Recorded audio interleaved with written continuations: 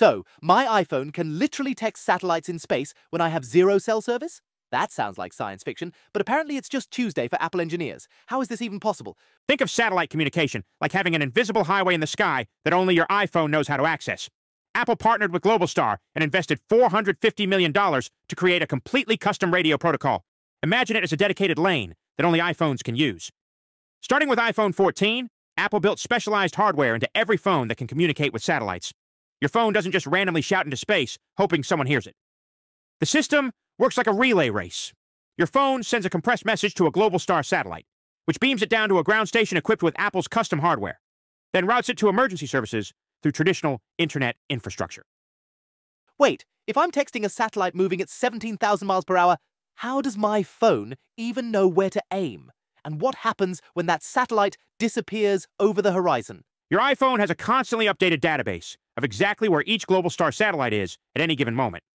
When you activate satellite mode, your iPhone uses its compass and accelerometer to guide you through pointing your phone at the optimal satellite.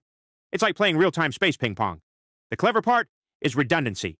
If one satellite moves out of range, your phone automatically switches to the next available satellite in the constellation.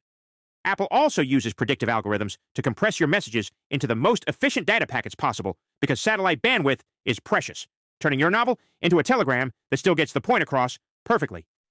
So, Apple basically turned my iPhone into mission control for texting space, complete with orbital tracking and satellite targeting, all so I can send, help, I'm lost, instead of just asking for directions. My iPhone is now more connected to space than I am to my own life decisions. And that's how Apple literally connected your iPhone to outer space using a combination of custom hardware, orbital mechanics, and some seriously impressive engineering. The satellite features are currently free for two years after activation, covering everything from emergency SOS to casual messaging when you're off the grid. If you want more deep dives into the technology that's quietly revolutionizing how we stay connected, hit that follow button.